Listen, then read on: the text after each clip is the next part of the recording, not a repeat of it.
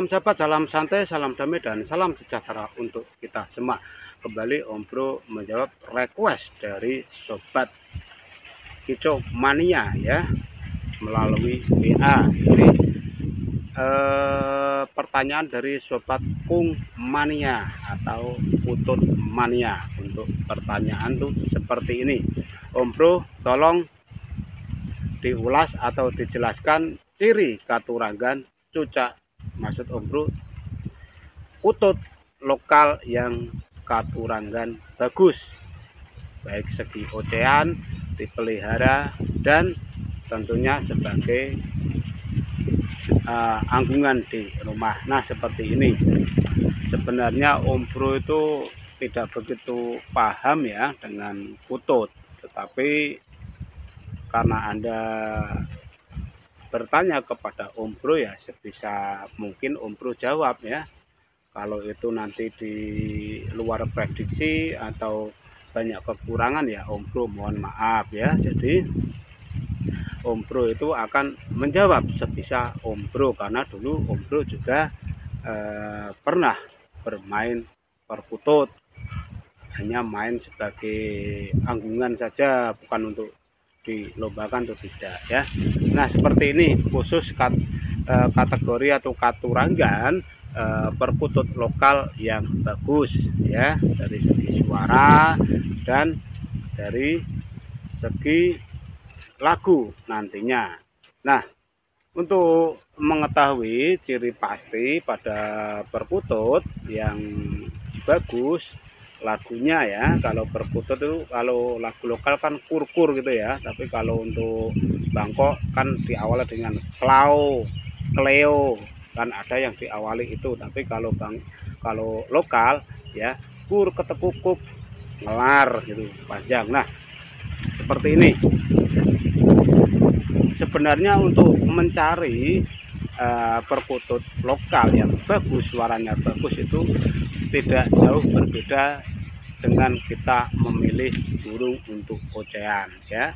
Jadi untuk perkutut pertama itu katurankan kepala. Kepala kalau guru menyarankan pilihlah kepala yang besar ya. Karena kepala yang besar daya memorinya kuat.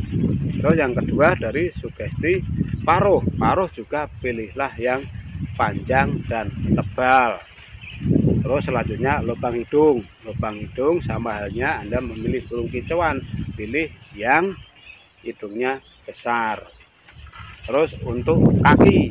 Kaki kalau bisa jangan milih yang rapat tapi agak sedikit melebar dan tidak terlalu panjang untuk kaki ya. Terus yang terakhir yang terakhir yang paling sangat sakral untuk menentukan kualitas daripada perkutut lokal itu ya. Nah, itu dari segi pupur. Nah, pupur pupur itu adalah warna yang ada biru biru biru apa ya? Biru kelawu ya. Birunya biru yang itu di atas mata. Lah itu pilihlah yang pupurnya jelas karena pupur jelas pupur yang warnanya jelas itu menandakan 100% kalau perkutut itu pejantan ya. Itu. Terus untuk ciri selanjutnya bagaimana? Ciri selanjutnya e, bentuk fisik. Bentuk fisik paling bagus itu yang agak sedikit bengkok. Itu bagus ya. Terus untuk ekor pilih yang ekornya panjang. Itu untuk e, kategori atau sugesti katurangan memilih burung perkutut yang bagus.